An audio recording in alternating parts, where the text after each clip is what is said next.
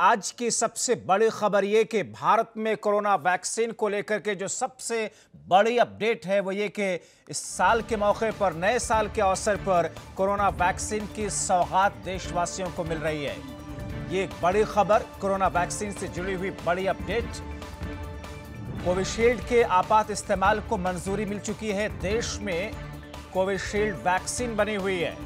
तो ये एक बड़ी खबर सीरम इंस्टीट्यूट की वैक्सीन को मंजूरी मिली है। सब्जेक्ट एक्सपर्ट कमेटी की बैठक में यह फैसला हुआ है।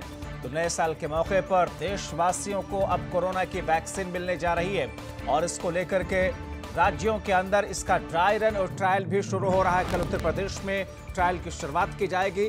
भारत में कोरोना से जुड़ी हुई ये बड़ी खबर, इस वक्त की ये ताज़ा अपडेट कि नए साल पर कोरोना वैक्सीन की सौगात देशवासियों को मिलने जा रही है।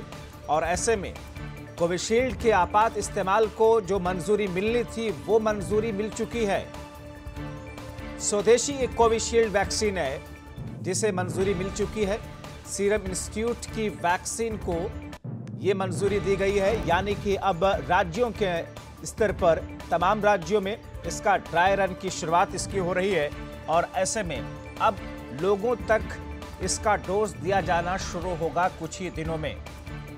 तो एक बड़ी खबर कोविड 19 से जुड़ी हुई, उसकी वैक्सीन से जुड़ी हुई, करीब एक साल के अंत तक मेहनत और कोशिश के बाद में हमारे वैज्ञानिकों ने सफलता हासिल की है। और इसके सफलतापूर्वक परीक्षण के बाद में तमाम तरह की जो बाधाएँ थी, वो खत्म हुई हैं। सब्जेक्ट एक्सपर्ट कमेटी की बैठक में एक फैसला लिया गया है, जिसे, इसे क्लियरेंस दी गई है, मंजूरी दी गई है। एक बड़ी खबर कोरोना वैक्सीन को लेकर के, जो कि अब वो तमाम चीज़ें आसान हो चुकी हैं जिसके इंतज़ार में, जिसके लिए लोग इंतज़ार कर रहे थे आम लोगों तक कोरोना की वैक्सीन पहुँचने के लिए।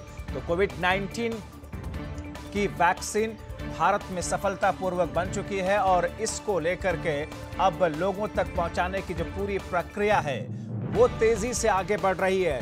और ऐसे में राज्य के स्तर पर राज्यों में इसका ड्राई रन भी अब शुरू हो रहा है। कल उत्तर प्रदेश में इसका ट्रायल शुरू किया जाएगा। पाँच अस्पतालों में, जिसमें से चार सरकारी अस्पताल होंगे, एक प्राइवेट अस्पताल होगा। लेकिन इन तमाम चीज़ों के बीच में कम से कम एक बड़ी राहत की खबर ये लोगों के लिए आ गई है कि अब इस वैक्सीन के सफलतापूर्वक, कामयाबी के साथ में, बनने के बाद में, अब लोगों की चिंताएँ ना के बराबर हो जाएँगी। क्योंकि एक बार ये डोज लेने के बाद में, वैक्सीन लेने के बाद में कोरोना होने के चांसेस खतरे टल जाएँगे, माना ऐसा जा रहा है कि इस वैक्सीन को लेने के बाद में, इसका डोज लेने के बाद में फिर उसे कोरोना नहीं होगा, ये एक तरीके से टीकाकरण इसका है।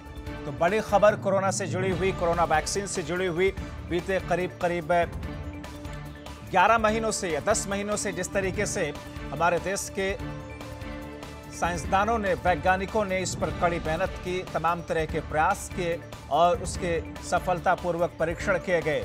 अब ज़ाहिर तौर पर ग्रामीण स्तर पर किस तौर पर इसे पहुँचाया जाएगा? क्योंकि इसे पहुँचाने के लिए जो कोल्ड स्टोरेज है, क्योंकि उसको कितनी डिग्री सेल्सियस में रखना है, उसके लिए स्टोरेज की मान्यता कैसी है, क्या कुछ प्रावधान है, वो तमाम चीज़ें जो कि बीते कुछ दिनों से, कुछ महीनों से उस पर काम चल रहा था, वो अब हो चुका है।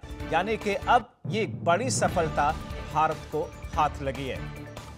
नए साल पर कोरोना वैक्सीन के कोविशील्ड के आपात इस्तेमाल की मंजूरी अब मिल चुकी है।